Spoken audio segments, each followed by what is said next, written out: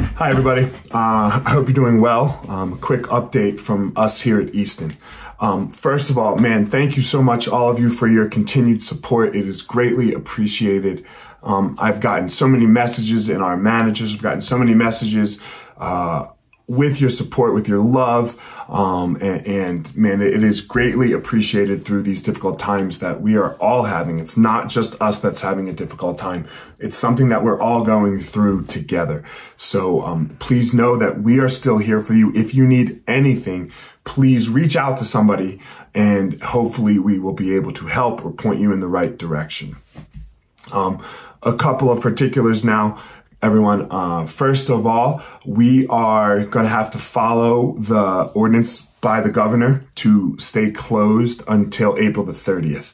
So that came out the other day, I believe, on Wednesday, uh, that everyone, all gyms, which is what we are, are going to stay, have to remain closed until April the 30th of this year, um, according to the government regulation right now. So we will be doing that. Secondly, we are going to add a link on our website, eastontc.com. Underneath of that, you'll see a place for COVID updates um, where you are going to be able to just suspend your account if you need to do that.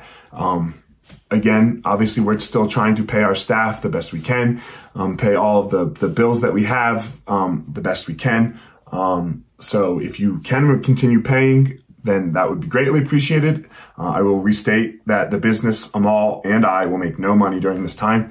So uh, it will all just go out to bill pay and, and staff pay. So, um, but the link will be at eastontc.com. Uh, you won't have to email us right now. It will just be right there for you to take care of on your own. So, guys, other than that, um, just a little bit, a little bit of, uh, a little bit of inspiration maybe. I woke up this morning and, uh, I was scrolling through my Instagram and I read something.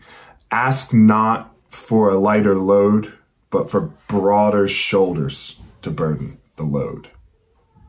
That's what we want. That, that's what we all need right now. The load might not get lighter. That, that, that might not be the case that's going to face all of us. It might actually get bigger and that's okay because your shoulders, each and every one of yours, they're, they're broad enough and you can do it. What I need you to do, the only thing I ask you to do is to take a deep breath. Right now say to yourself, I am okay and I am doing this. A deep breath. I am okay and I am doing this. You have to do nothing more than what you're doing right now. There's no ask of you, there's no nothing. You can do this. That's it, guys. I hope everyone is happy. I hope everyone is safe. And I hope everyone is healthy. And most importantly, I hope you are all being kind to one another. We'll be back with another update later, guys. And uh, see you soon.